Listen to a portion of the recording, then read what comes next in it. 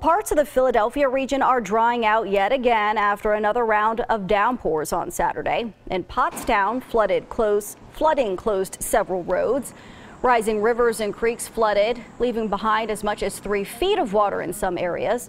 This park on West King Street had ducks swimming in what was supposed to be a baseball field come here to play basketball a bunch and I've never seen it like this. I mean, the Manatawny Creek is just it's overflowed. It's the whole it's all muddy. It's crazy. It's, since I've never seen it like this in the 2 years I've been coming here.